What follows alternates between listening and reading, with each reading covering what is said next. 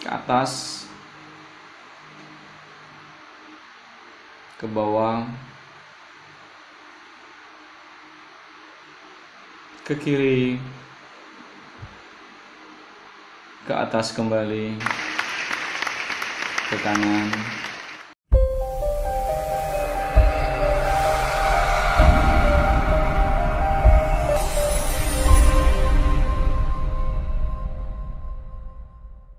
Assalamualaikum, jumpa kembali dengan saya Abdul Holik di channel Holik Sapsonov. Sobat, kali ini kita akan melanjutkan untuk belajar Scratch. Jadi di belajar Scratch pada kesempatan ini kita akan menggerakkan satu objek atau sprite. Namun sprite tersebut dapat kita tambahkan animasi. Sehingga pada saat sprite-nya kita gerakkan dengan panah kanan, panah kiri, atas ataupun bawah, maka objek atau sprite tersebut bisa bergerak, tapi bedanya pergerakan tersebut dengan ada animasi pada objek tersebut.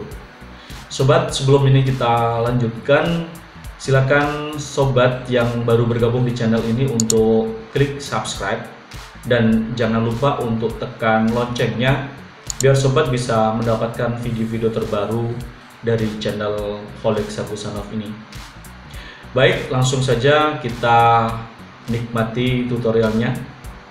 Gunakan panah kanan, kiri, atas, dan bawah untuk menggerakkannya.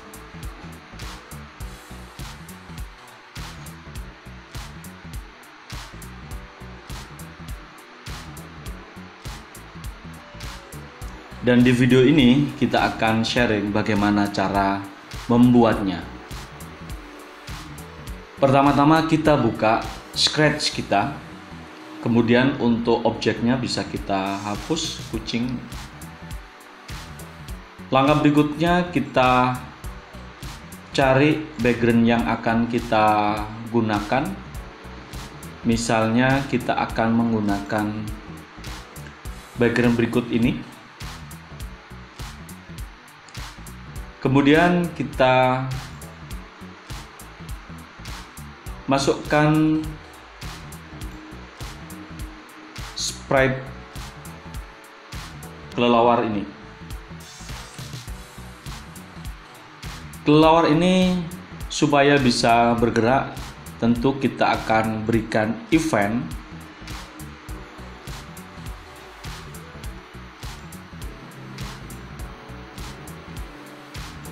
when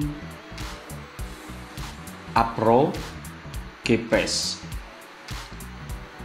Kemudian kita klik motion.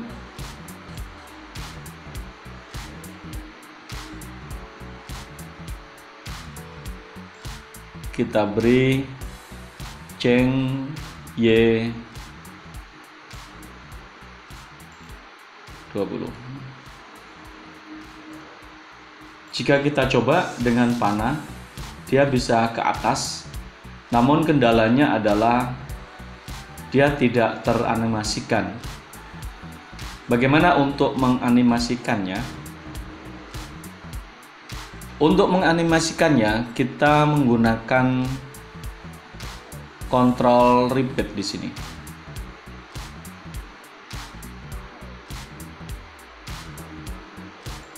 Jumlah repeatnya kita isi dengan 4.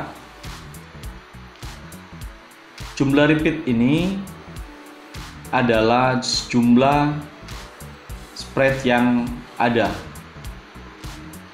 Jika kita lihat di custom, kita bisa lihat bahwa spread dari kelelawar ini ada empat. Karenanya kita masukkan kita lakukan pengulangan sebanyak empat kali. Apa yang nanti akan kita lakukan pengulangan? Kita nanti akan mengganti customnya.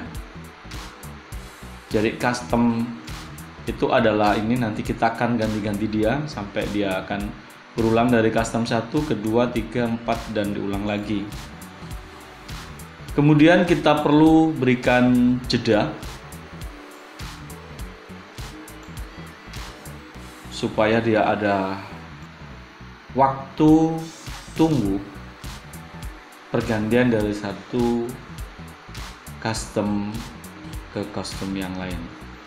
Ini kecil saja kita kasih seperti ini sekarang kita coba lagi. Nah dia sudah bergerak pada saat kita gerakkan ke atas.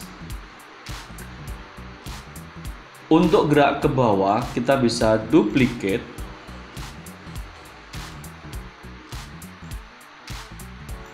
Kita bisa pilih down row. Chainnya karena ke bawah kita berikan tanda minus sepertinya repeatnya masih tetap. Next custom dan weightnya masih tetap. Sekarang kita coba dengan panah bawah.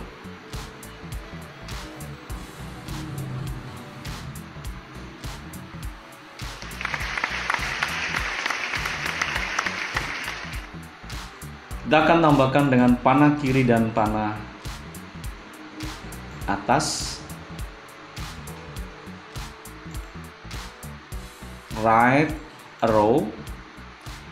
Cengnya yang perlu kita ganti dengan ceng X.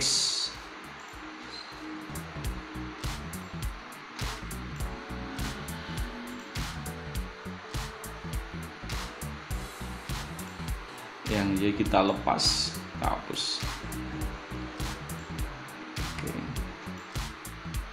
Kalau kita gerakkan panah dia akan